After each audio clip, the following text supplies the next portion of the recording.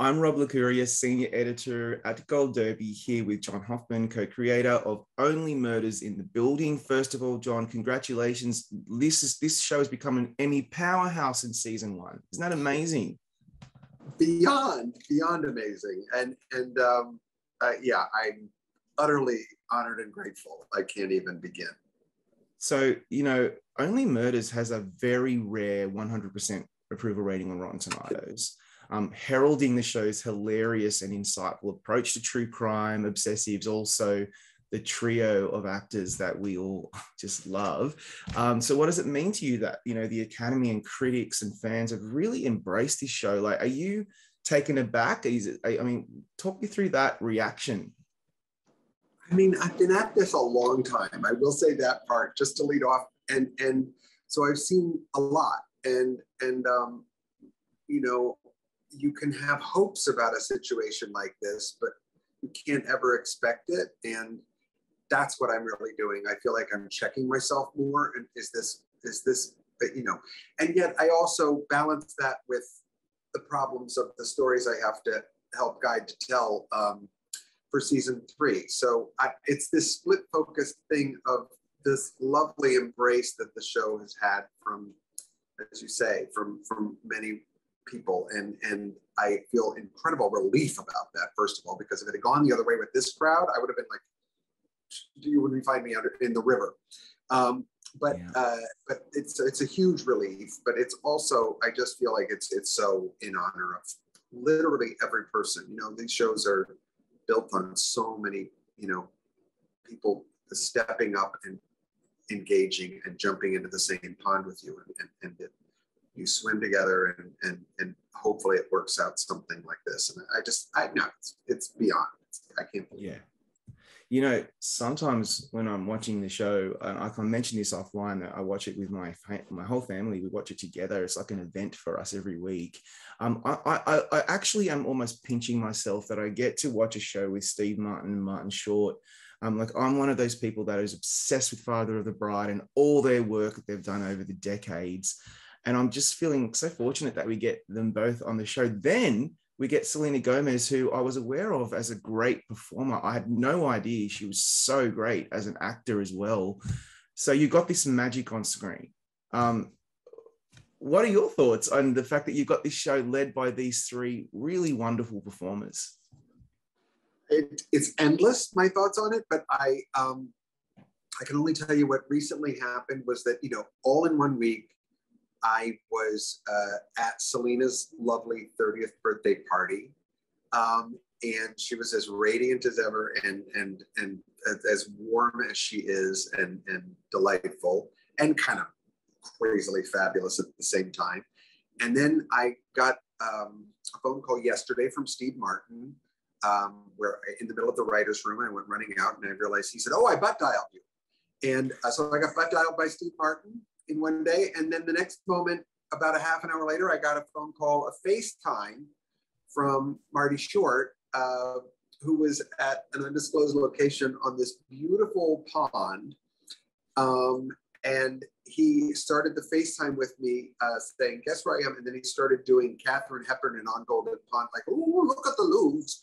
And so I was, uh, you know, this is my experience of working with these three in, in a week that combination and then just um, the pinch me moments are crazy just on set uh, in, in working with them every day. And you know they're they're true collaborators and they're they're geniuses all but i really genuinely feel like they've become such close you know that's what happens when you do these shows you become family you become friends and and it i, I you know I, it, it still is a pinch me moment over over who these people are. And um, but you do quickly have to get to work with them too and, and sort of make sure they're okay with what they're doing. And uh, that's really fun with them.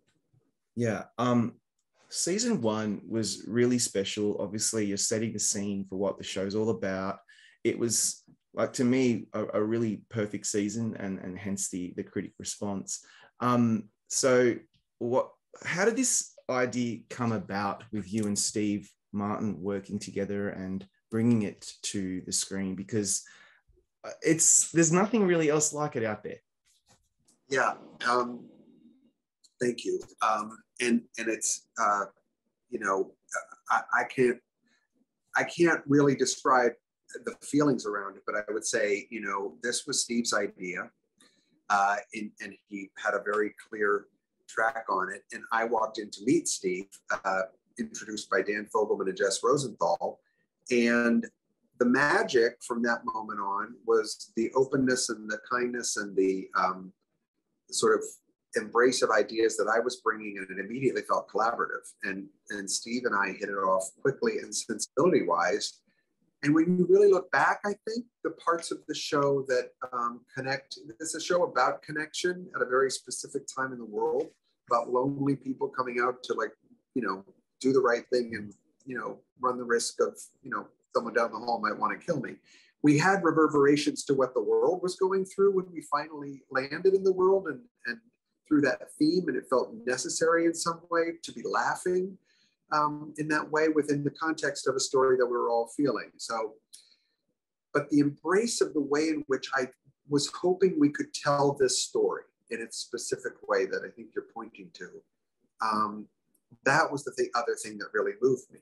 From Steve from Dan, from Jess, from everyone at the studio and the network and at Hulu and 20th and, and all the way up uh, to Dana Walden. It was just shocking to me that the mix of tones, the mix of genres, the desire to do something unexpected with the show was embraced. And, and we were able to sort of flourish in this moment to sort of say, we're going to actually go beyond, hopefully, the thing that many people might expect from this show. So that was the amazing part. Um, and then, of course, I was just nothing but in a panic as we were shooting during a pandemic until the AD said to me at one point, okay, let's set up for the martini shot of season one. And I didn't realize how intensely, you know, focused I was on trying to get this whole thing done because it's a mystery. And if you don't get everything, you don't get anything. So I was like, what's that? What do you mean it's a martini shot for season one? And he said, no, it's it's just a shot of a phone. I'm like, well, we need that shot. He said, we're, we're going to get it. We're going to get it. And it's the last shot of this season. And then I lost. I, all of the sort of like pressure of wanting to fulfill. And I knew by that time the stars, everyone else was involved in the show, uh, that we were happy with what we were doing. Um, it, and in that, in the, again, in the midst of all of the time, I think everybody felt very emotional about that, making anything. But it was a, it was a rare, rare experience on all levels to make this show. Yeah. And then to get it become so successful and beloved. I mean, what a dream. You know, there's one episode in particular that I, we really have to talk about the boy from 6B because I, I could not believe how much that affected me. I just thought it was just a beautiful little masterpiece without any dialogue, performances are first rate. Siddhartha Khosla's score is just phenomenal. And James Caverly, he's got these beautiful sad eyes that I was just so taken with that character. What went through your mind when you saw the episode come together so beautifully? That one was very big. Um, that was a big leap. In a season one of a show to try and do a show like that make an episode work like that. There's risks just everywhere you look, and um, you have to trust, but you also have to do all your work and the planning and the explaining of the way in which we think we can pull this off. And you would need partners like Cherien Dabis, um, who directed it, uh, with such an eye and and such skill, and and and you know. Uh, we all jumped in on that one in ways that you know you crossed your fingers but boy when that first cut came in I couldn't believe it. I couldn't believe how riveted I was right from the beginning. And it certainly altered a lot through editing in many ways, but there was something that was carried through from the direction, from the writing. Stephen Markley, Ben Philippe wrote that episode, and um, and then uh, you know the performances themselves. No one expected could could have expected uh, what James Caverly did in carrying that episode. And but every way in which all the artists on that one were working, the the delightful Scrabble scene with Amy Ryan and Steve Martin, um, you know, every little leap we were making in it just felt like it was singing uh, in ways that I couldn't predict with no dialogue, with nothing happening except that stunning score by Sid. and it, it, I, I was I couldn't take my eyes off the screen right from the word go on on that first cut, and so I knew we had an achievement. I wanted to check myself, and then I started to get back from other people, but uh, I felt incredibly proud again that you know you take up you, you you throw the dice on certain things and and think like well can we pull that off and and it's all due to the people involved in every way every area yeah. you just sometimes do have to take chances and see what happens and on that note we're going to let you go for the time being bring you back for a group chat. Thank you john for your time today. Oh thank you rob thank you